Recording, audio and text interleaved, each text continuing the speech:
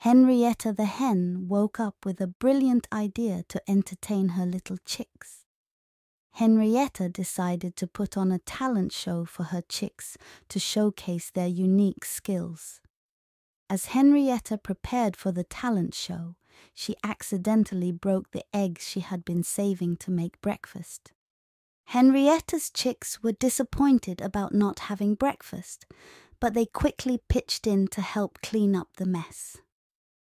During the talent show, one of Henrietta's chicks, Rosie, surprised everyone with her incredible singing voice. Suddenly, a group of talent scouts happened to pass by and were blown away by Rosie's talent. Rosie was offered a recording contract, and the talent show became an opportunity for all the chicks to showcase their skills. As the chicks performed to a cheering crowd, Henrietta realized that her brilliant idea had not only entertained her audience, but also opened doors of opportunity for her talented chicks. Like பண்ணுங்க share பண்ணுங்க subscribe பண்ணுங்க